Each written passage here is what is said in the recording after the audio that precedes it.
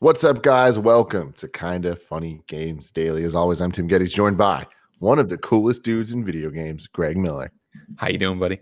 Good man. It's, What the again, it's fuck been a while. Tongue thing. It was I'm for sorry. me. What, Kevin? Can we introduce the show? What, You stuck your tongue out and vibrated it Kevin, like that Nick. doesn't seem That like was something I would nasty. do. I'm Greg Miller, trending Gre- games. Tim wasn't watching. It was gross. if it happened, Tim would call me on it. Instead, Tim is looking great in the PS I Love You XOXO sweatshirt available right now. Where now. can you get it? Kindafunny.com slash store. Wow, that's true. That's true. Ladies and gentlemen, though, this show is not about pimping out kind of funny products, except it kind of is What are you sometimes. talking about? We're about to go to housekeeping. Here's a million shows it's about video games. This is about all the nerdy video game news that you need to know. You can watch this show live every weekday at 10 a.m. on twitch.tv slash kind of funny games. You can get it later on youtube.com slash kind of funny games, roosterteeth.com, or you can listen to it on podcast services around the globe. Just search for kind of funny games daily. If you want to get the show ad free, you can go to patreon.com slash kind of funny games, just like our Patreon producers did. Mohammed Mohammed, Conner Nolan, and Blackjack. We appreciate all three of you and everyone else that's listening, no matter how you're listening, whether you're paying us money, not paying us money, we do appreciate you. Uh, today, we are brought to you by youtube.com slash kind of funny games, but I will tell you about that later because there's so much we got to get into here. New, like with some housekeeping, some stuff going on on YouTube's dot com slash kind of funny games. We do have stuff that I want to pimp out. What is that, Greg Miller? A whole bunch of stuff. So first off, it's finally happened, ladies and gentlemen. Nick Scarpino's full playthrough of The Last of Us Part One, and I mean like you know Last of Us Number One, 2013 Last of Us. Well, it's technically remastered. I digress. Uh, is up. YouTube.com/slash Kind of Funny Games. You can go there and watch uh, Nick play The Last of Us for the first time ever. All he knew was giraffes were in it. That's all he knew. Maybe that's all you know now.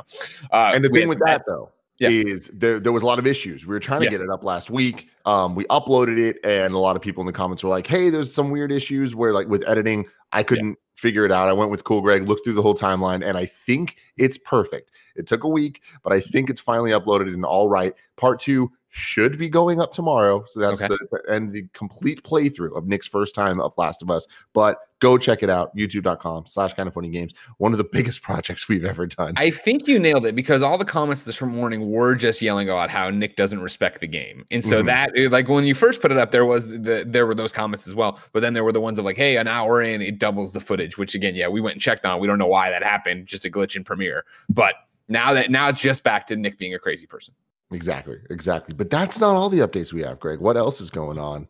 Uh, ladies and gentlemen, guess what? The kind of funny showcase is back, but this time it's called the Guerrilla Collective. Yes, you heard us talk about this last week. Then, of course, uh, the Guerrilla Collective got delayed. It got delayed one week. Uh, we've teamed up with our friends at the Media Indie Exchange to do a three day showcase featuring nearly 90 games, and it all kicks off this Saturday at 10 a.m. Pacific time on twitch.tv. Slash, Sure. oh, we're kind of funny games. It's also on Yeah. Guerrilla Collective. It's at a million different places. Yeah, if you follow us, you'll be able to find it. I'm I not going to shut up about it, so get ready for it. Yeah, very exciting stuff.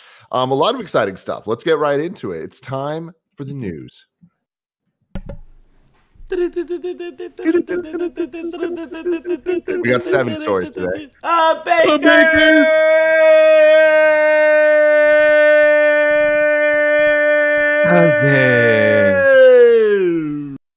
We tag team because I'm not hosting, so me and Kevin can do that thing. I 'cause like we're that. the I Wonder like it. Twins, right, it Kevin? did throw me off when you started doing it.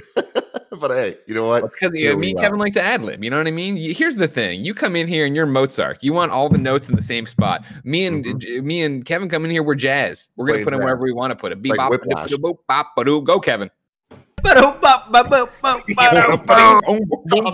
Don't ever do that again, Kevin. Kevin, Um, let's record a jazz album this afternoon, just using our mouths. Speaking of things that are throwing me off, ladies and gentlemen, uh, the news right now, number number one story, PS5 event rescheduled? Question mark. Uh, there's this image that came from a Twitch ad that is the same PS5 future of gaming image that we we saw previously when they announced that it was going to happen last week, but with a new date now of June 11th at 9 p.m. BST, and that's what threw me off. I'm like, I don't know what BST is. British Standard Time, right? Yeah, but I had to Google that to find that out. Um, but what I did Google, what I learned after that is to translate that to, to times that mean something to me. Uh, it's 1 p.m. Pacific time. So the same time as what Yeah, last week's event was going to be 4 p.m. Eastern time and then, yeah, 9 p.m. BST, if that. It seems like they literally just push it a week, right? Exactly. Yeah. Uh, Kevin, I just tossed in. This is a late edition there as a hyperlink. Uh, of course, I saw this originally through Daniel Ahmad, industry uh, analyst over on Twitter. Uh, one of his follow ups is he actually has the ad from Twitch. So we're in this weird spot right now where, of course, we're rec- recording live. Uh, I almost said Ricotta for some reason, uh, 10 a.m. Pacific time. Once I saw this post, which was roughly around like 9 a.m. an hour ago, I thought immediately, all right, cool, we're going to get an update from PlayStation. PlayStation's going to do it. I turned on the Twitter alerts on my phone and all that. Nothing so far. And so it seems even IGN wrote this up, and IGN wrote it up as if there is, and maybe they've inside information because of uh, summer of gaming or whatever they're calling it. Uh, they wrote it up with no question. There's no question that it has been rescheduled to this date. And of course, not only is Daniel a trusted source, this is a, as if Kevin's showing it right now, a, a, live Twitch ad that you can see for yourself that is playing in front of stuff. So it seems pretty legit that yeah, we are just waiting now on an official word from PlayStation that yes, it is June 11th, 1 p.m. Pacific time. Yeah, and it's crazy that I feel like we've spent years talking about video game events, but I feel like specifically this event we've talked about more than any other event in history, right? Like how many we've talked about this one a lot. When is it going to happen? Oh, it's going to happen next month. Oh, it's going to happen the next month. Oh, it's happening. Oh, it's not happening. Oh, when's it going to happen? Oh, now it's maybe happening. and then we're finally going to live react to it this week, right, Greg? Yeah. Yeah, that's right. So yeah, as usual, ladies and gentlemen, twitch.tv slash kind of funny games for all your crazy reactions to video game stuff. We'll be live June 11th, 1 p.m. Pacific time, twitch.tv slash kind of funny games. We will watch the entire conference with you. We will talk over it, which means we'll talk over it, which means if you don't want people talking over it, you should go somewhere else. We understand. However, if you are going to tune in somewhere else to watch it with no commentary, we urge you to come back after uh, the show. This is breaking news for you, ladies and gentlemen. Kevin, can I get the breaking news noise? Thank you, Kevin. Breaking news from Kind of Funny.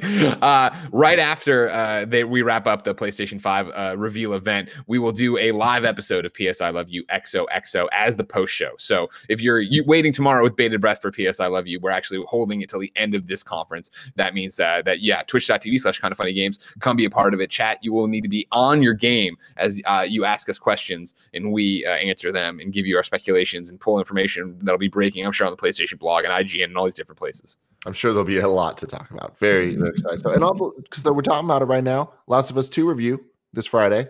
Yep, that's exciting stuff. That'll be what a week for PlayStation. Yeah, it's definitely PlayStation, PlayStation news, yeah. Very exciting stuff. So if you um, haven't caught that, of course, ladies and gentlemen, of course, you can go to YouTube.com/slash Kind of Funny Games or the Gamescast feeds on podcast services around the globe. Subscribe, and at 12:01 a.m. Pacific time, Friday uh, morning, we will drop our Last of Us Part Two uh, review. I will be live in the YouTube comments for the first hour of it, so I'll be able to answer some questions there. But like I said, uh, obviously, uh, I didn't actually say, I guess. So the plan here is this.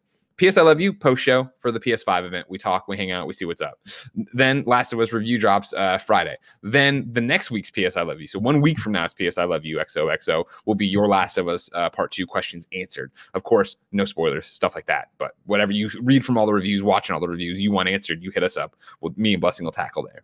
And the review will be Greg Miller, Tim Gettys, Blessing Adeoye Jr., and Christine Steimer from What's Good Games. Oh, so look at that, everybody. Dream yeah. Team reunited. Cannot wait. That sounds like a lot of fun. But yeah, Greg, so we've talked about this event so much. At this sure. point, is there anything more to say before we get into it? Have I asked you on the record on a show, do you think they'll show the box? No, you haven't. Do you think they'll show the box?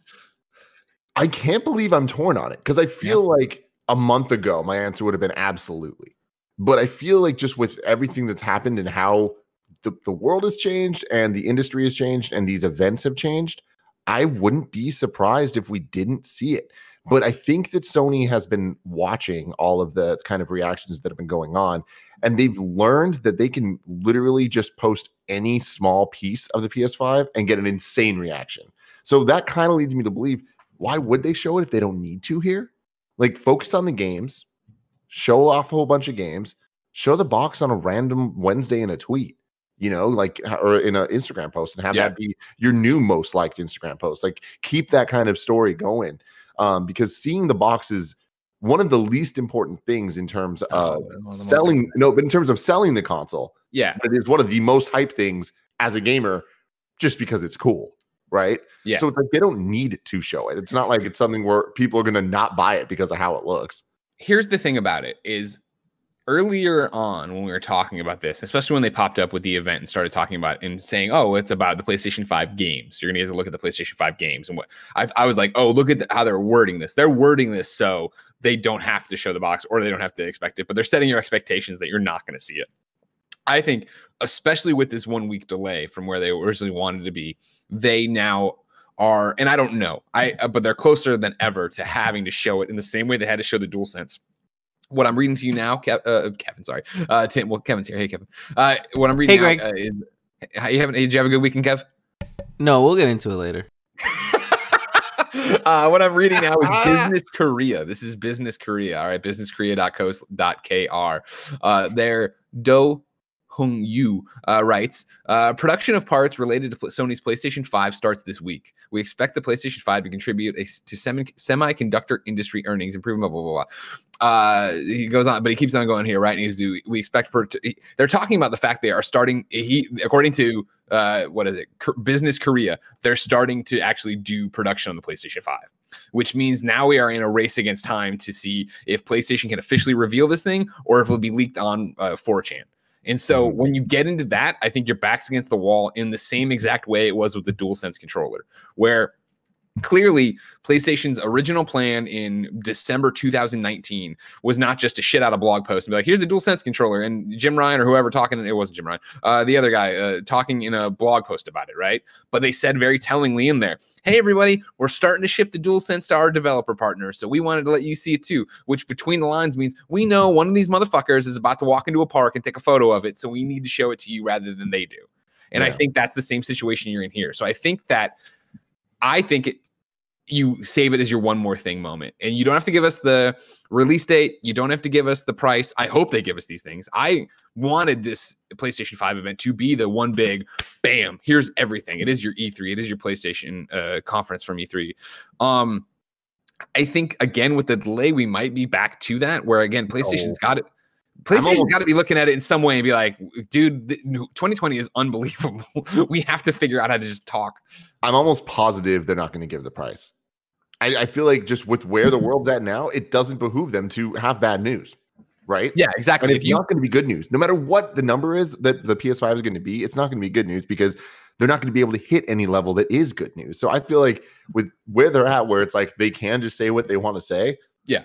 Don't say the other stuff. Wait till later. that's my thing is when, when we were talking about this event when it first got officially announced and they were stressing games i think you go through the entire thing you show a bunch of amazing games and then the, and you do and you don't have to do the cheesy one more thing but you're like there's one more thing and you show the box and we get a sexy package and 360 spins you know what i mean and ta- looking at it and the vents and the cooling whatever the fuck it is and you end Yeah, there I, And I think- beginning. Huh? I, I don't see that being a one more thing. Like I, I definitely, I think one more thing has to be a game. If and, and by one more you thing, open mean, with like, it just get show it out of the way here's the rip the band-aid off here's playstation Yeah, 5 it- maybe not even like it doesn't need to be open, but I, I'm saying first third. Yeah. of I whatever. see this I know what you're saying, but here's my, but here's where I'm with what I, why I was saying that right is I think that if you have a, this game event, even though they've messaged it as a game event, you go for an hour and change talking about all these games, and you end on a big game. The headlines would still be PlayStation Five shows all these great games, but we still don't know what it looks like. I think you have to sh- if you show what the box looks like anywhere in this thing, and you show a bunch of amazing games, I think everybody walks away happy. Sure, there'll be the thing of oh, I can't wait to buy it. I wish I knew how much it was and when it's coming out, but that's not nearly as that won't dominate the headlines in the way of not showing the box would. I don't know. I, I feel like who cares about like we still don't know what the box looks like. It's like I know, but it's like, but that's the thing is like that's a, that's an exciting thing. We still don't know what the box looks like. It's not like uh what are they hiding from us?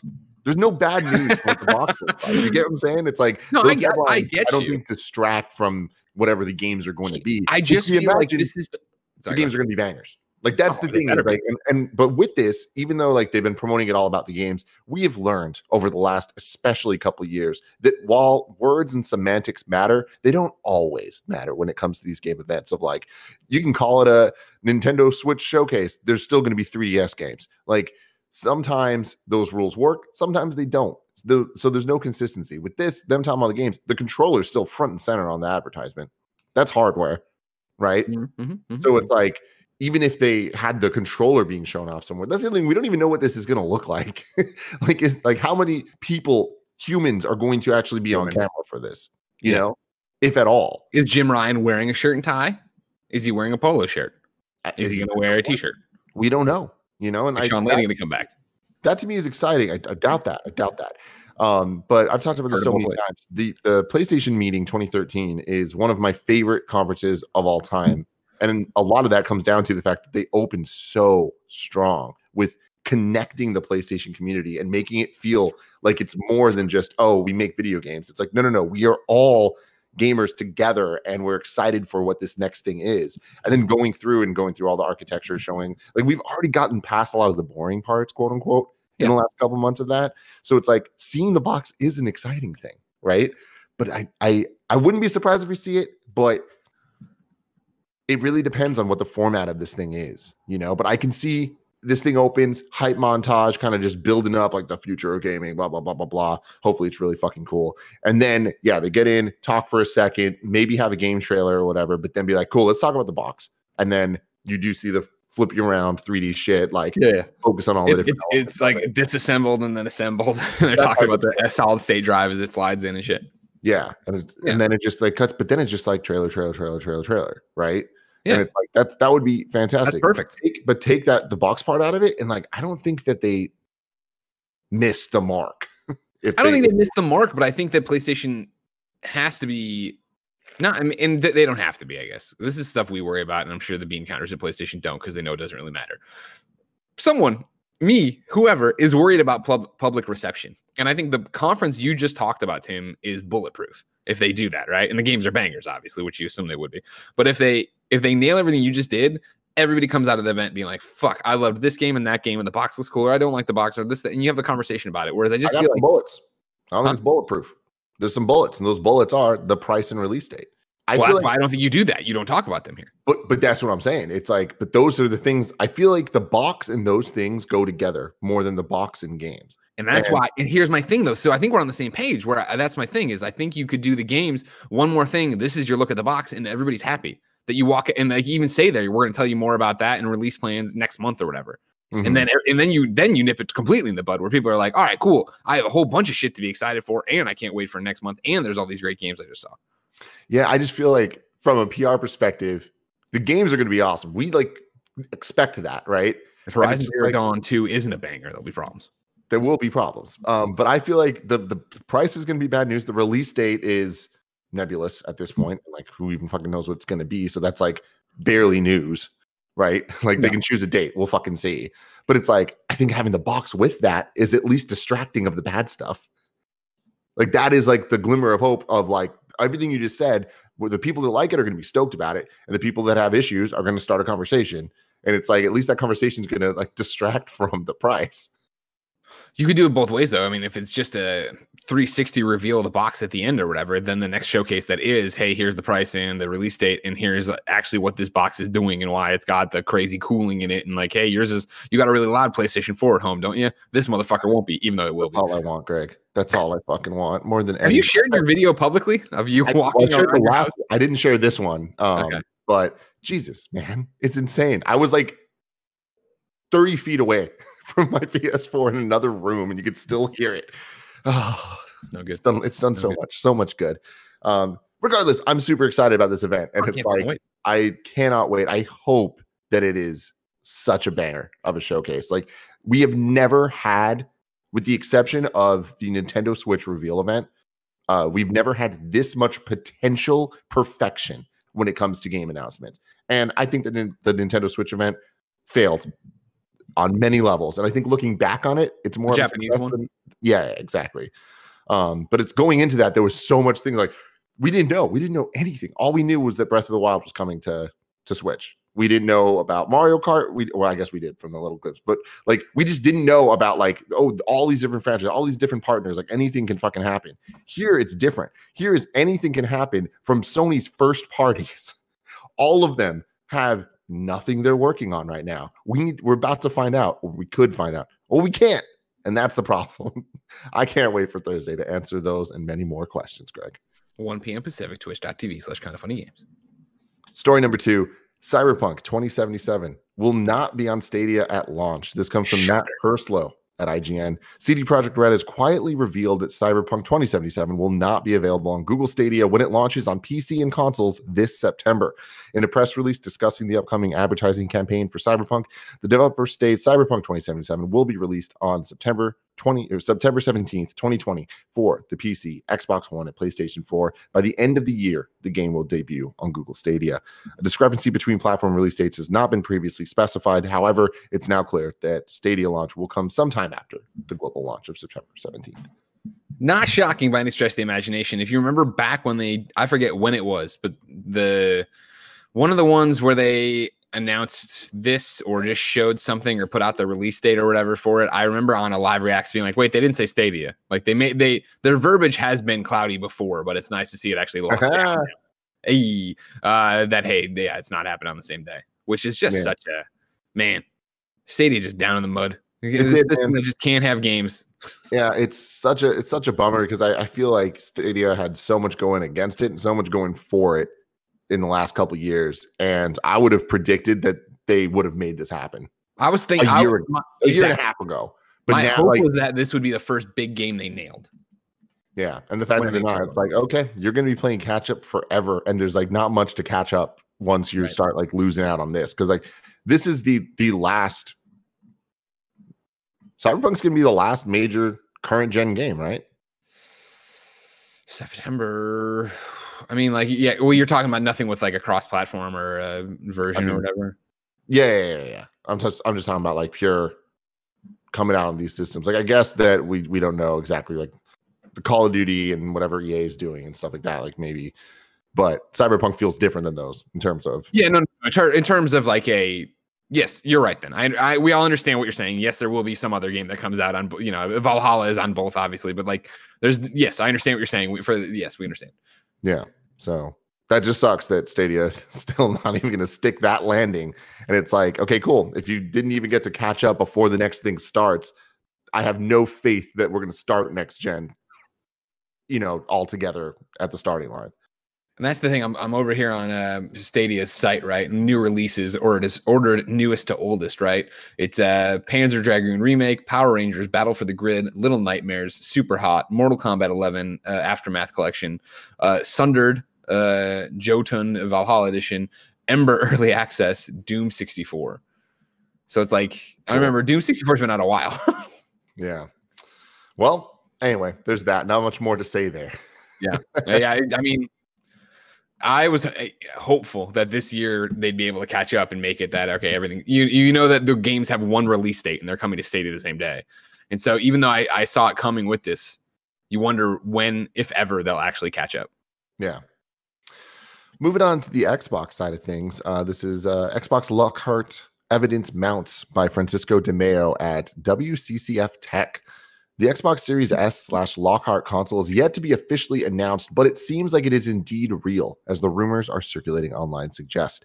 Twitter user Title OS recently discovered a reference to Lockhart in the Windows OS libraries. While the reference doesn't mean a whole lot by itself, it would make no sense for Microsoft to include it if the console is not coming alongside the Xbox Series X. While nothing official has been said about the Series S, insiders com- claim Yes. that the console hasn't been canceled. Last month, Windows Central's Jez Corden revealed that some developers he spoke with confirmed they're still targeting the console.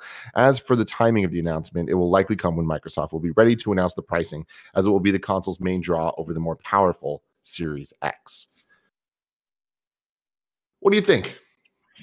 I don't know. It's a, I you know you you- I feel like the rumor on this runs hot and cold all the time. Where in the beginning, before we knew anything about Series X or you know Lockhart officially, it, it seemed like oh, of course they're going to do this.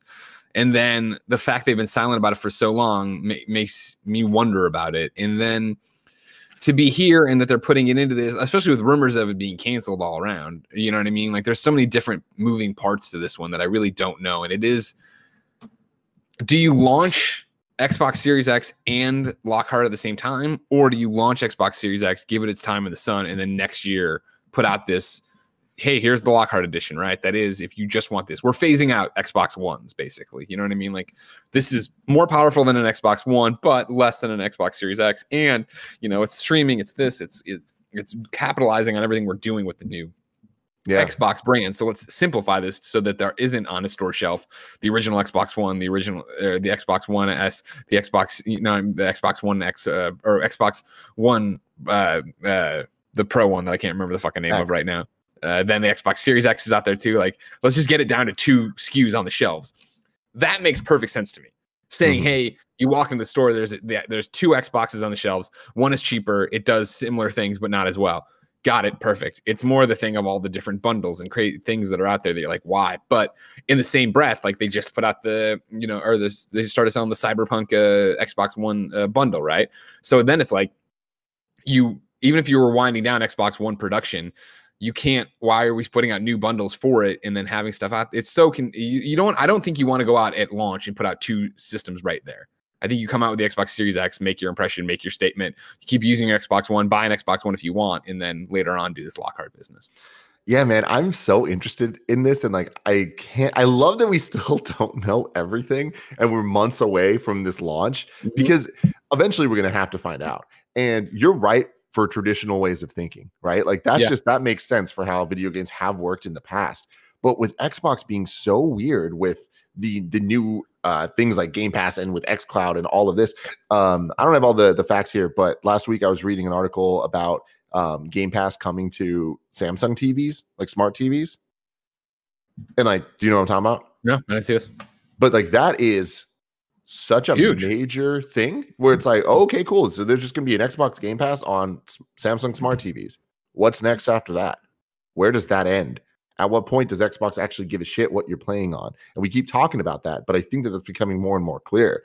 With that train of thinking, I wouldn't be surprised if they put out both at the same time. And it's just like, uh, no, we're just we're committing to this. We're we're going all out. Get whatever you want. We're giving you the options. Like Well, that's their future, about the right? That's what they're pushing for. Yeah. Yeah, but I wonder like at, why not start the future sooner if they are have already been laying the groundwork for everything where it's like let's out the gate give people as many opportunities to have the best experience with as possible even if the best experience is the Lockhart versus the Xbox 1 you know Mm, for the mm, people that aren't ready to make that Series X jump.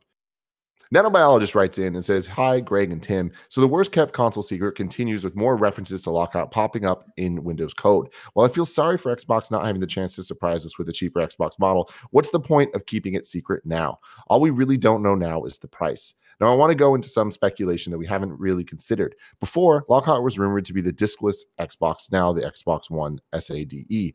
But what if Lockhart is still discless, but an on the go Fire Stick like Xbox running xCloud? Would you consider grabbing an Xbox Cortana stick to play games on the go? Do you see this as a potential in the future with the way that Xbox and cloud gaming are going? Could this be in the near future? Or is my head going too far into the clouds? like that. Real talk with what I was just saying about the Samsung TV thing, like that wouldn't be surprising. Oh no! I mean, that's that's the future Xbox wants to move to, right? Like that's what they're talking about when they do this. Mhm. Um, I saw the article you're talking about in, in different places. And then SamMobile had an interesting one that no, Project xCloud is not coming to Samsung TVs yet.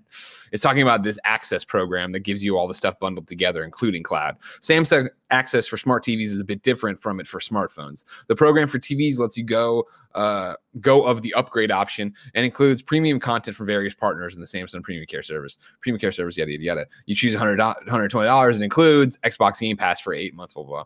blah. Uh, a few websites are reporting that Microsoft's Project Cloud, xCloud and Xbox Game Pass could come to the Xbox or Samsung TVs, uh, but that's not true, at least not right now. If you choose the Xbox Game Pass Ultimate subscription with Samsung access for your TV, you could use it to play compatible games on your Windows PC or Xbox for eight months. Got it. Okay. Okay. Okay. So it's just a bundle, but you're not off. I mean, this It's- is legitimately the future Xbox and Phil talk about all the time. Totally. And then these are like laying the stones of the foundation for that. And this is the thing that nanobiologists is talking about that it wouldn't be surprising to me if like we talked about like what the what the price range would be for this Lockhart, whatever. And like we are talking about 300, whatever. And like during our predictions, I even went lower than that. I think I said 150. It could potentially be $60 for one of these things. And Yeah. at that point, it's like launched at the same time with the Series X, right? Like, hey, get this if you want all the fancy shit. If you just want to play, if you just want it with with using cloud gaming and XYZ, blah blah blah, here's this thing that's just like a Chromecast that you plug in. That would be freaking insane. Such an Oh. easy sell to get people into the ecosystem. I agree. And here's a question that I think plays into it that I had later in the show for you, but I'm bringing it here. Uh, Zygerani, Zygeron. Uh, good morning, KFGD hosts. I have a simple question for y'all. What's the deal with xCloud? We haven't heard much on it in a while, and we still have no idea when it's officially coming out. Have any of you tried it out? Uh, do you think we could see more about it this month uh, from Xbox or later this year? Uh, anyways, stay safe and much love for the kind of funny crew. Uh, Ziggy Zigger Zig Zagarion. Zagarion. Um, this I think plays into the thing because, of course, yeah, uh, you know, the question you asked, right? Or I'm sorry, that uh, Nano asked, right? Would I carry a Cortana stick for 60 bucks and plug that in anywhere? Yeah, if it worked really well. And that's the thing I think xCloud's been building to, right? Last year they talked about Project X Cloud was going to go into open beta this year, and that it would it would you know go into using your actual games library and Xbox Game Pass, meaning that right now there's select titles on X Cloud you can play for free. Uh, however, they'd open it up to what you already own, and then if you're a Game Pass member, what you could get into there.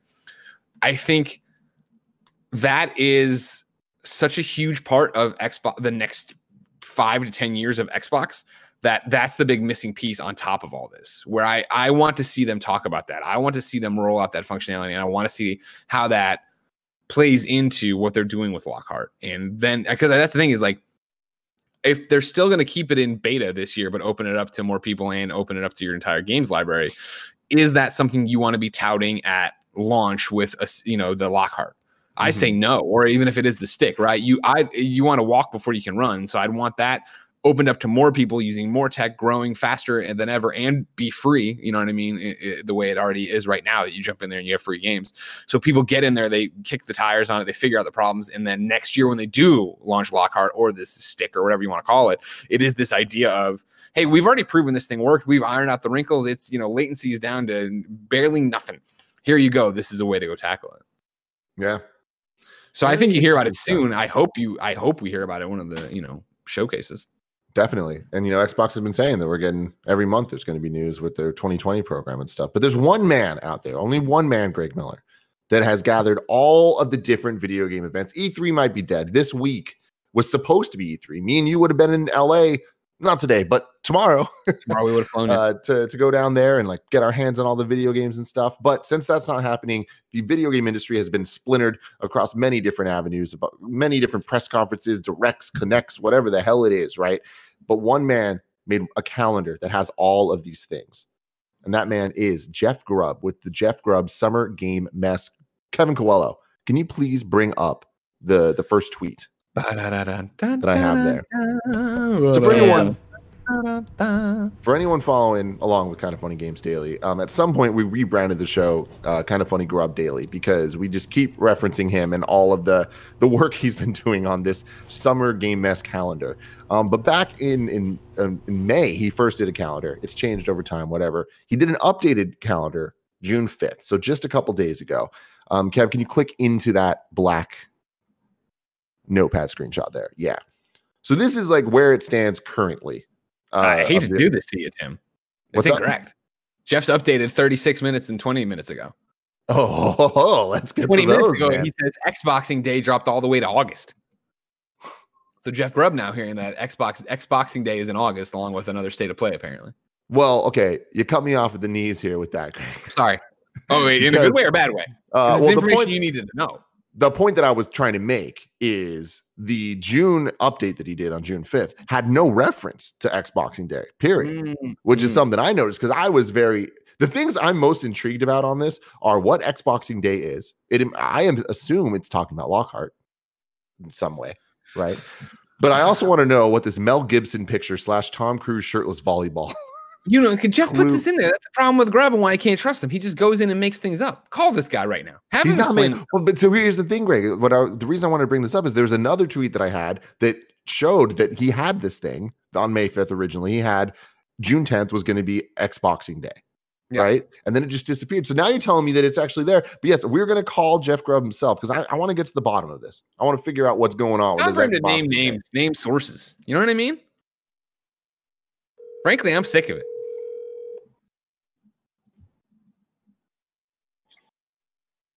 Oh no! What's what is this? Jeff Grubb, what's up? This is Tim Gettys. You are with Greg Miller. We are on Kind of Funny Games Daily. How are you doing? I'm doing all right. It was better before you guys called me.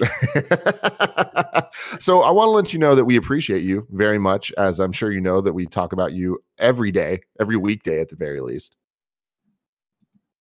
yeah. I, I try to listen every day. It's so so here's my my question for you all right? And, and it's already been kind of answered because you did some updates while the show is live. But i noticed that this xboxing day mysteriously disappeared from your summer game mess calendar. And i was i was trying to figure out what was the reasoning behind that. So now you're saying august. Do you have any more to say about this? I know you have your secrets you have your hints. Yeah, I got, so here's what's uh. So I took it down. but I wanted to give it some time. to breathe. I knew it moved for the time it was scheduled for, but I wanted to give it a little bit of a uh, figure out exactly what was happening. I looked into a little bit more. It seems like Microsoft definitely doesn't want to go before Sony. Probably this week. It seems almost this week. So that was the big reason they moved it. so uh if you care to let us know this do you think that xboxing day includes any lockhart information I think it includes Lockhart information. I think that's. I think it's exactly what that event is. Yeah, for sure. very exciting stuff do you have Yeah. anything else you would like to say here on kind of funny games daily Um, you know, you know what? You guys, that's all I really want to say. This is good stuff for sure. I love it. I'm very excited for whatever this Mel Gibson picture is. you know what? I, a lot of people figured that one out at this point. It's like, uh, you know, they were going to announce it earlier this month. They had to keep pushing, keep pushing it. So it's like people had solved the mystery. So if you really look and kind of put uh, connect the dots there, I'm pretty sure you'll figure it out. But uh, I, I, you know what? I would, I want to make sure people set their expectations, set it at like a five out of ten, so that like maybe, if, maybe if it's something that's like up your alley, you could be super excited. Otherwise, I think a lot of people are gonna be like, oh, okay. Just Well- trying to have fun. Just trying to have fun, Tim. I love it, man. This is the the one calendar to rule them all. Thank you very much for everything you do.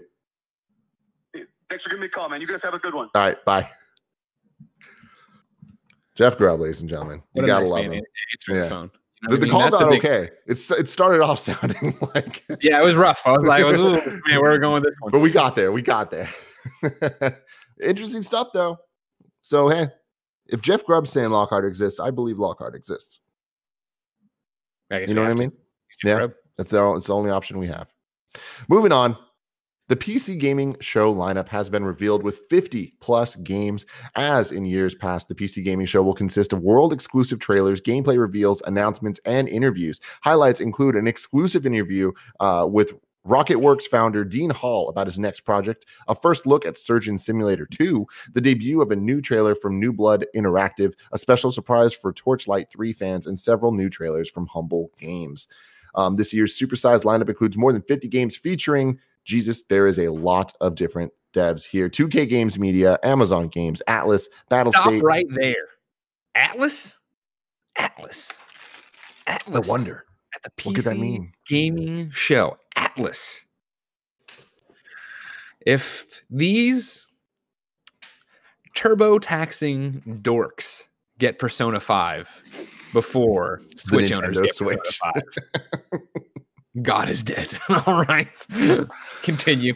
Th- that brings up, I mean, an interesting conversation that's separate from this, but you know, there's all these rumors of Bloodborne coming to, to PC. Mm-hmm. It's just like it's so crazy that we're, we're like PC gaming is is becoming more and more mainstream than ever, just with like ease of use now, and just like with with you know Twitch becoming what it is, where it's kind of like you know, gaming Minecraft changed gaming to the point that PCs became just as relevant as consoles ever were.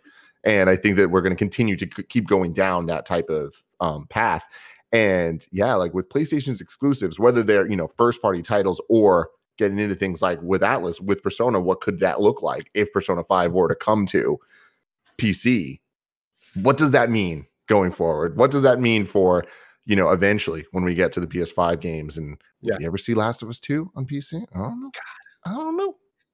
Uh, then there's a whole bunch of other other people too. Merge games, Modus games. Uh, let's see. Don't Sega, Nod is on there. yeah. I thought was an interesting call. Don't Nod. and yeah, and not yeah. interesting, but I, I, you know, as much as I love Don't Nod Out, it's just like, okay, cool. What are you guys up to? Glumberland, the people that made Ooblets. Uh, Wolf Eye Studios, the people that made Weird West, which I don't know what that is, but sounds very intriguing. Anyway, exciting. stuff. Is a pretty, pretty silly name. All right, and I like that they put it in there as Glumberland parentheses Ooblets, to explain to the fact that like, hey, I know you've never heard of these developers. You heard Ooblets though. That's how this works. Yeah.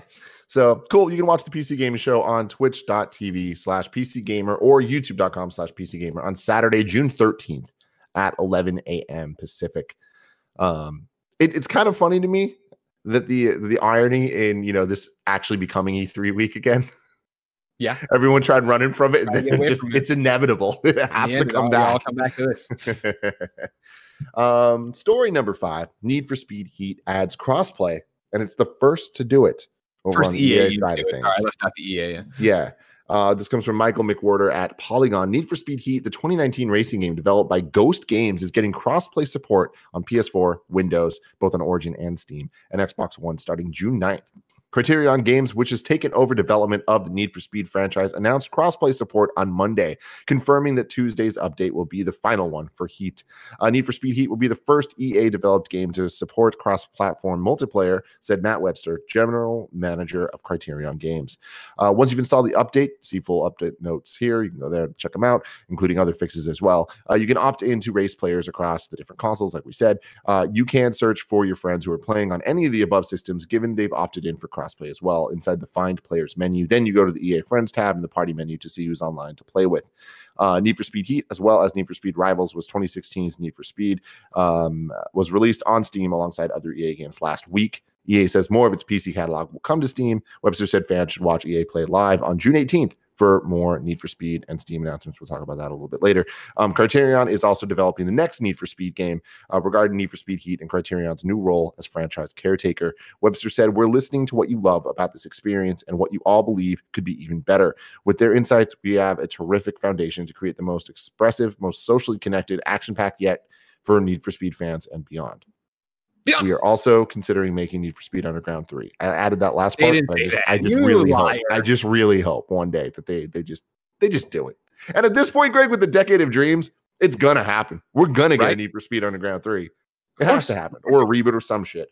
Anyways, You'll get that Frank- and never, ever, ever get Skate 4. Frank Frank bring Furter- Road Rash. They will take care of everything. Skate fans will continue to be fucked over. Mm. Frankfurter writes in says, Good morning, Greg and Tim. EA is finally going to start crossplay with Need for Speed Heat. Why? Why, why, why? I'm sure there's some hardcore fans that are excited about this. However, why would you dip your toes into crossplay with such a niche genre? Why wouldn't EA start with something like Battlefront 2 or release a new multiplayer game and say it'll be crossplay? Why pick Need for Speed Heat? Because Frankfurter, you forgot the golden lesson of one Uncharted Drake's Fortune. Greatness from small beginnings. Why not start with something that is incredibly niche and go ahead, figure it out? Let's. Uh, we're gonna start crossplay with No Offense to Need for Speed Heat, a game that nobody has expectations for, or expectations are drastically lower than if you were to say, all right, Battlefront 2, the game that we've brought back to prominence, that we actually got re-reviewed on IGN, that everybody's like, cool. They learned from all the microtransaction bullshit. Now they are ready to actually jump in and do a thing. Let's go. Like you don't want to fuck that up. You don't want to fuck up all the momentum. So go and do this. Take this game out there. Learn how you're doing that. Take this for a spin. Absolutely. Hey, there you go. I absolutely love that though. I mean, that's that's what it is. It's like you need to make sure that you're getting the smaller things work working in order for the big flagships to be able to to roll it out without without issue. But even with that though, um, I looked into a couple numbers here that I thought were interesting. I thought the Need for Speed Heat was like an absolute flop, um, but it has a 72 on Metacritic. Granted, I'd expect more and want more from a Need Tim for Speed Gettys, game. Tim Gettys, uh, patented phrase: swimming in sevens. Swimming at seven. No, that's Michael Michael Huber over at Easy Allies. He patented it. I Michael use it. Stuber, never heard of him. I hate you. I hate you so damn much. Uh, but yeah, 72 on Metacritic, which I was kind of surprised by. I thought that it was going to be more of like a 50 something, you know, Hmm. based on the way that people talked about that game. It also seemed like people didn't talk about that game unless it was negative. Um, a fun little thing just in the side, just because this made me laugh. DualShockers did give it a three out of 10. And the, the quote was if Forza and Heat were in a boxing match, Forza would be Mike Tyson in his prime and Heat would be a toddler. so that That's that's, not trying to prove the point I'm trying to make here. But the 72 on Metacritic is, um, and I was trying to find sales numbers for Need for Speed Heat to see where it hit. And going into the launch, EA projected that it was going to uh, get three to four million sales, which is pretty good. And that's just in line with other Need for Speed games. Um, and then we didn't get actual sales numbers since, but what we do have is the first week um, they tweeted out Need for Speed. Need for Speed Heat set a new record during the first week with more people playing this game than any other Need for Speed title this generation. So Interesting. that's good news. Um, and then that's also backed up by I went back and looked at the NPD for that month in November 2019, and it hit number nine. So game sold. Like like people have this game. And on top of that, people that seem to not hate the game. And then on top of that, now it's on Steam. So it's like there is going to be a, a new audience for it. Right. It's not, we're not talking millions and millions, but like go for it. You as you call out the audience and not being millions and millions. I saw it roll through the Twitch chat a second ago too. The the idea that you probably need or want crossplay here because of the fact that they're smaller communities, unifying them into one gives you a bigger pool to play with, right? Rather Exactly. than hey, we yeah we're on Steam, so there's an influx of new players there, but PlayStation 4, Xbox, they've you know seen people uh, atrophy and leave and not play it daily. It's not as much of a reason to go back. Suddenly, if you take everybody, toss them into one world, one pool, one multiplayer, that, there seems like a much more lively environment. Exactly, and so yeah, I think that this is a this is a good sign um for EA from EA. A, a rare time that I'm saying that, but I think that this is a, a, a good step forward. We've been saying this for months now. That going into next gen, if you don't have crossplay, you're going to get laughed out of the room. So it's good to see that EA is jumping on that early. Funny. Yeah, I mean, I mean, yeah, exactly. You know, a year after you know Call of Duty did it, but this idea that yeah, like to what we're saying, like you have to do this now. This is now that the you know the the uh, curtain's been pulled back and people understand that this is not easy but doable. And you know, PlayStation and Xbox seem to have laid down arms in the fight. Then yeah, why aren't you doing this? Yeah. And it's crazy how impactful this crossplay is in a mainstream general sense. Like seeing uh Nick's now playing more multiplayer games than ever, which just means he's playing any, but still cool. um, but like him and Andy being able to play on PC and PS4, and it seems like there's issues, there's gonna be issues no matter what with everything. But Well, like too. yeah, exactly. Uh, but it's like that's cool to see. And then on the other side, like my group of friends that are like I've talked about so many different times, they're not like hardcore gamers, but like they play games randomly and like they'll play big PlayStation exclusives, but then they also play Warzone. Um, but it's cool seeing like that group. Some of them have PC, some have Xbox, some have um, PS4, and they're playing Warzone together. Like that's That's awesome. that's awesome that that is it's that mainstream of a thing that they're just like oh this this is video games that's how they work um so it's good to see ea taking the steps to make sure that three years from now it's just a standard across all of the big games including battlefront 3 whenever it happens right. Uh, more EA news here. EA extends free Xbox Series X upgrade offer for Madden NFL 20 21 after player complaints. This comes from Samit Sarkar at Polygon. Uh, Madden NFL 21 publisher EA has extended the duration of its free upgrade offer for the next gen version of the game, changing its policy in response to criticism from fans and the media. Now, the promotion will be valid all the way until the next game, Madden NFL 2022, is released in the summer of 2021. EA announced its offer in early May during an Inside Xbox episode focusing on Series X games, in which Microsoft revealed nine titles from third party publishers that would be part of the company's Smart Delivery initiative. Supporting Smart Delivery means the customers who buy the Xbox One version of the game in question will receive a free upgrade to the improved Series X version once it's released, rather than having to buy another version of the same game. However, EA took a different approach that calls it dual entitlement. Jesus Christ, I didn't know that that's what they called it. Holy shit. That's because the publisher put time constraints on the offer, saying that in order to be eligible for it, Madden NFL 21 customers would have to buy the game on Xbox by December 31st, 2020. And redeem the upgrade by March 31st, 2021. Uh, the Xbox Series X is scheduled to launch this holiday season, so this policy would have left out anyone who didn't buy the next gen console within its first five or so months. Um, there's a whole bunch of other issues there. During the recent Inside Xbox announcement, we included some dates limiting this dual entitlement approach. Uh, the text on EA's Next Level website now says, having listened to our players' response, we're extending the offer all the way through the season up to the next game, so players can upgrade to Series X whenever they purchase the new console within that period. Got to give Good credit on- where credit's due. Yeah. They listened. They they said something. People got upset, and they're like, "This is dumb. You're right. We should Yep. fix it." And um, honestly, like I'm going to take this even a step further. I think that it's not necessarily EA's fault that they they fumbled.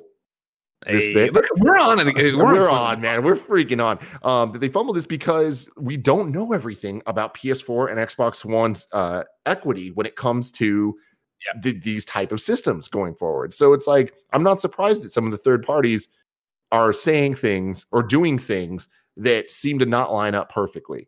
Um, I imagine that similar to crossplay, once we start getting in a little bit more and get a little more information, a lot of this is going to start to just Fade away. you know, yeah, homogenize into a way Yeah. where we're like, oh, okay, everything is equal. And if you're not, you're gonna get called out.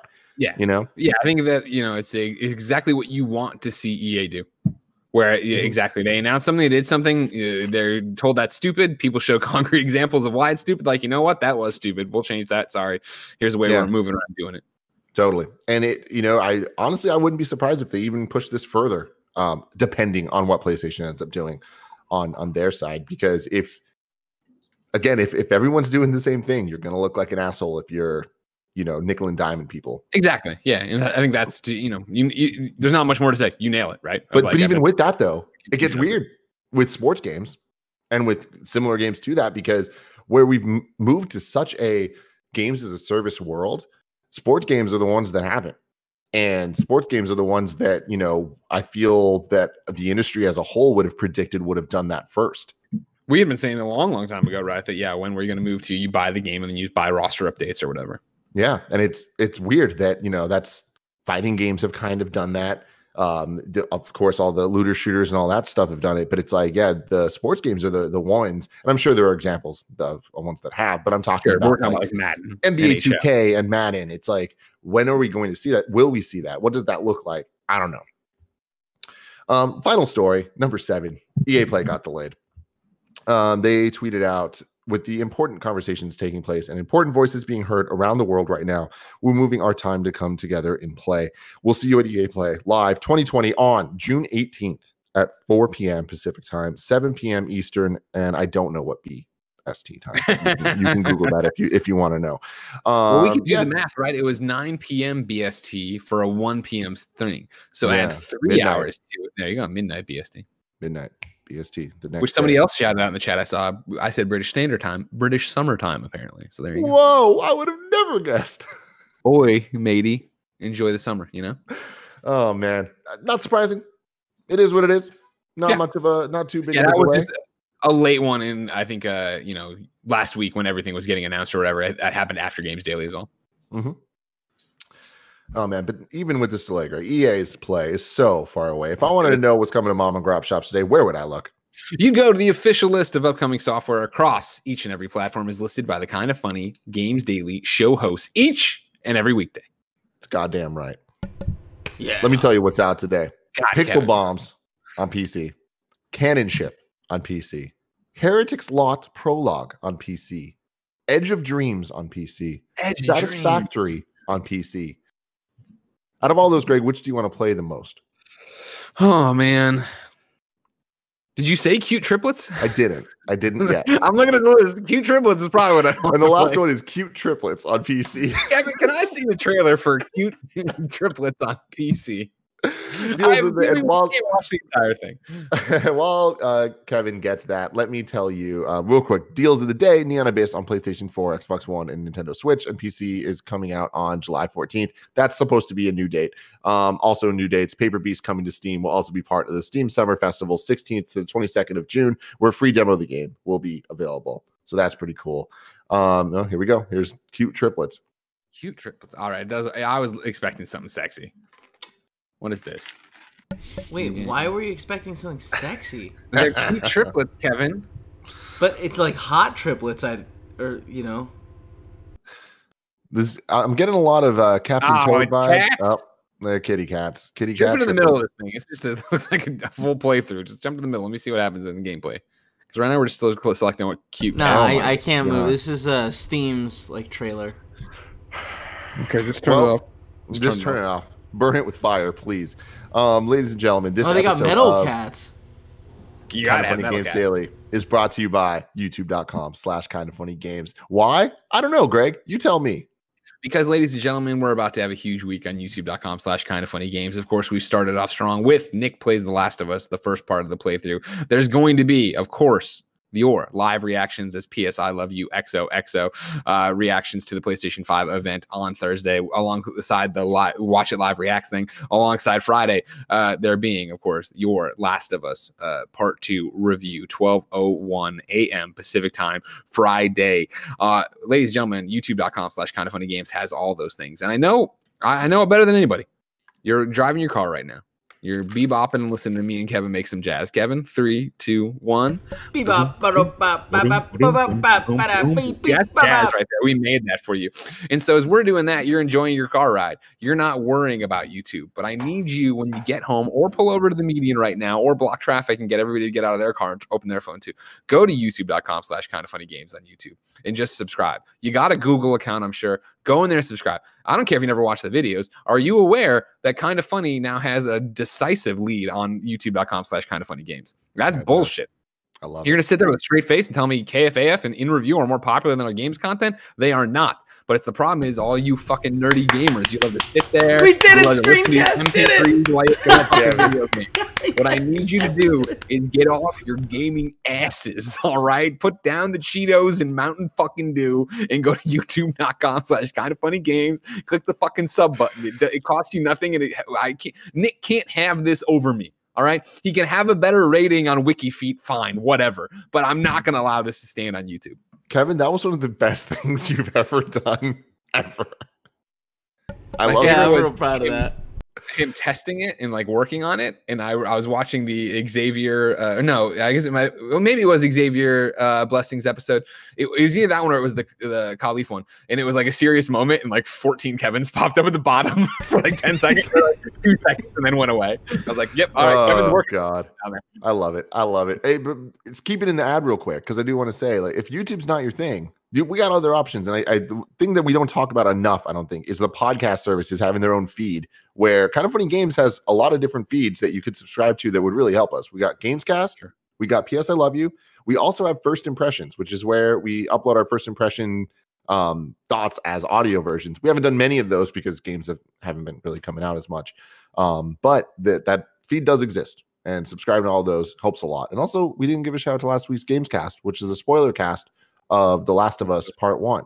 It was good. It was It's great real one. good. You should go good. check that out. My Anyway, favorite was the argument in the chat of like you can see how hard it is to make content for people. Where half, the, not even half, but some a a lot of people were like, "Oh, I hate this Greg doing the in review summary of Last of Us," and then the other half being like, "I live for this. I hope they do it all the time." But you can't, You'll you can't win them all. You know what I mean? You can't. But again, YouTube.com/slash Kind of Funny Games. Don't let Tim muddy the message. Just go there and subscribe. All right, let's start small. We'll get you to the other fo- podcast feeds eventually. But for right Great now, news. don't Small let Nick hold this over my head. Thank you. now it's time to squad up. Daniel says, I need some best friends on PlayStation as most of my multiplayer. Tim, breaking people. news. Breaking news. It is official. PlayStation has tweeted, ladies and gentlemen. The reveal is happening June 11th, 1 p.m. Pacific time. There we go. Very exciting stuff. Um, squad up. You can go to patreon.com slash kind of funny games to squad up with us if you need people to play games. Daniel says, I need some best friends on PlayStation as most of my multiplayer people are on Xbox to hunt that mean old predator in hunting grounds. Uh, my gamer tag is ooh, lazy. Prescherizer, just spelled weird. Um, Th- it's That's how like love to do it. Prescherizer, just for your information. That's P R S C H E R I Z E R. Prescherizer.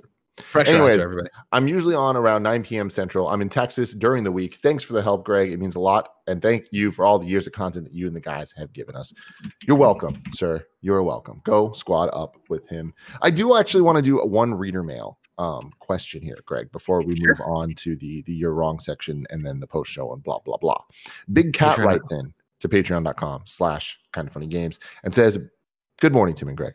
I want to get right down to business. Monkey business. The 21st anniversary of the original Ape Escape is in 16 days, but we haven't heard anything substantial about the series in a long time. While other PlayStation 3D platformers have been making a comeback, like Spyro, Ratchet, and Crash, there have been seemingly no love from the PlayStation for the simian fugitives. There have, hasn't even been a mainline game released in 15 years. My question is Will the PS5 mark a return for the primates, or is Ape Escape done for good? Thanks and all the best. So, couple things I want to say about this, Greg. First off, Yeah. I want a new Ratchet and Clank really, really, really, really fucking bad. And I honestly think that it would be one of my most get hype moments of this PS5 reveal event. Wow. Okay. Because like I, I, it's just one of those things where we don't think about that. We think about all the other like the big guys, right? Where's Spider-Man 2 from Insomniac? I'm like, oh, but what about Ratchet? What about that Ratchet? What We haven't got a new Ratchet? Ratchet in. We haven't got a new good Ratchet in generations. It feels right, like it's been since the PS3. Because PS4 mean- only had the remake, which was amazing, Which but was it was great. a remake. Okay. Okay. As long as you're on the same page. Yes. no, I fucking I love correct. it. I mean, I, I think that's it's debatably my favorite Ratchet game. Wow. I still think I give it to um Crack in Time, but still, it's between those two. Um, but I would love it like a PS5 ground up Ratchet and Clank game. That'd be super fun. Anyways, back back to Ape Escape.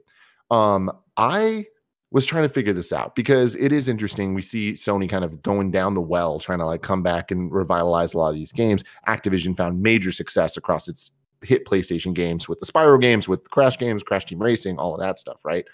Um, and then we saw uh, PlayStation try to get that with MediEvil. That didn't work as well. Um, but that's just because we were getting to that point where it's like, what can we reach down to get, right? Sure. 3D platformers have a different place in people's hearts. It's different. Final Fantasy VII Remake. The, the examples are plentiful, right? Ape Escape, a game that's talked about enough. I don't want to say Yeah. a lot. I don't want to say a little when, when we when we talk about PlayStation games, like people talk about Ape Escape, right? Like Ape Yeah. Escape is is one of those ones where I'm not surprised to hear it brought up as like, oh, why isn't it coming back, or when's it going to come back, or whatever. Things about Ape Escape is tied to the dual, uh, the dual, the original Dual Shock, and like playing with all that stuff. You couldn't play it with the original PlayStation controller.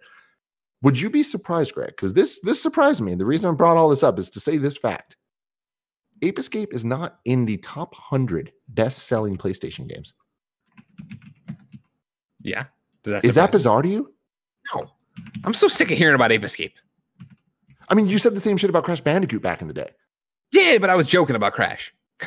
But, but, but even then, though, it's like I am legitimately kind of surprised that like you look at the Spyro games, you look at the Crash games, and like they're all in the top twenty. Not all, but like most. I mean, even Spyro Two is at twenty five. We got Frogger on PlayStation at number twenty six. Spyro Three is at twenty seven. You go down and it's like DDR. Your first DDR on PlayStation is on this list. Like we're getting pretty dire when it's coming to some of these games, man. Like yeah, but wasn't Ape Escape? you're telling me that Derby Stallion 99 sold more than Ape Escape? 2Xtreme? Test Drive 5? Dancing Stage Party Edition? Like, we're just getting to a point where I'm like, I'm shocked. I would have thought that Ape Escape maybe in the 50s. I'm I crazy? Numbers. I I mean, yeah, I think Ape Escape was a bigger deal in Japan, and I think but that that still, and a the, lot the of these games- PlayStation, uh, you know, mythos or whatever, the DNA of it or whatever, of people who are super into PlayStation know about Ape Escape and like maybe played it, and enjoyed it, but like, come on, just give we we move on. No, we don't need more Ape Escape. And I'm maybe they're gonna show it this week. Maybe Ape Escape's here. The 21st anniversary is what we're talking about now. It's funny. I you know I, I looked it up because I was like, didn't the Twitter account do some shit or whatever that was gonna get it there? Googled it. When it took me to Push Square. Uh, January 3rd, 2020. Rumor is this Ape Escape Twitter account hinting at a new game in 2020? Directly below that, uh, June 2019. News is this Twitter account teasing a new Ape Escape game? Every six fucking months, this Twitter shits something out, and everybody's like, "Oh fuck, it must be happening." Because Hey, guess what? did It's going to happen. It's going to happen eventually. I don't know. I don't know that it will. Like, You're it definitely before happened. you It die. happened. Before you fucking die, you're getting another Ape Escape game. I don't know, man. I don't know. Guarantee it. Do you, okay? Do you think we get a, a Parappa before we get an Ape Escape? Ooh. I hope so. I always like Parappa more. Parappa, you know, it's one of those things like, don't get me wrong, the game's hit or miss. Parappa the Rapper. 60th best selling PlayStation game. I feel like if you were to come out and really like turn that on its head, not do a remake, well, I guess a remake, but I mean, like uh, from a ground up, do whatever you want with Parappa the Rapper. I think that could be really cool. Yeah. Ape Escape, they're just fucking apes. Who cares? Rugrats Search for Reptar is 62. How the fuck is Ape Escape not above that? I, I do think that a big part of it has to do with the DualShock controller thing because that limits Sure. stuff. I don't know, man. I'm blown away by this news. Blown the fuck away. Sorry, buddy. Somebody Time had to, and they did you know? you can go to kindafunny.com slash you're wrong to let us know what we get wrong as we screw it up in this here kind of funny games daily. Azalomage says that the DualSense was announced in April 2020. Earlier we said November 2019. Time flat circle. It is what it is. Um, um.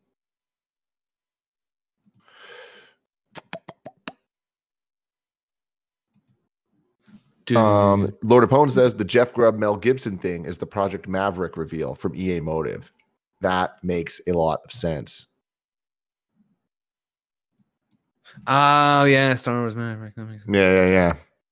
So yeah, Grub Grubhub, who I'm not sure if that's Jeff Grubb or not, or just a Jeff Grubb fan. Jeff Grubb fan number one, Grubhub in the chat.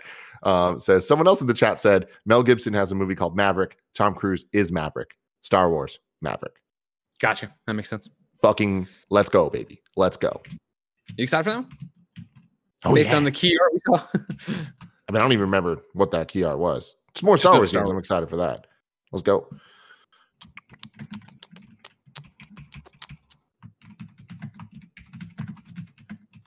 And that's it. Oh, wait, wait, wait.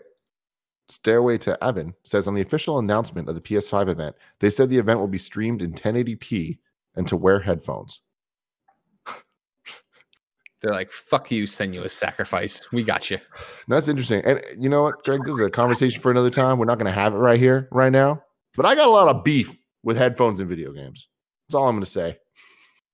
One Fair. day we'll Fair. talk about that more. And I'm excited to see what Sony has to say. Um, but, anyways, this has been kind of funny games daily. Thank you very much for joining us on this beautiful Monday. Um, we will return for the rest of the week. I closed the doc like a freaking idiot. Who do we have hosting the rest of the week, Greg It's Miller? simple. Tomorrow it'll be Imran and Fran. Worth pointing out, tomorrow before Games Daily, there is a Destiny event happening. Uh, it'll be Fran, Destiny Master himself, Andy, and me, just me hosting, obviously, and asking dumb questions because I haven't played Destiny in forever. We'll be live reacting to that on twitch.tv slash kind of funny games. It'll go up later on youtube.com slash kind of funny games. Then we'll roll into Imran and Fran hosting Games Daily. Then Wednesday, it's me and Gary. Thursday, it's me and Blessing. Friday, me and Blessing.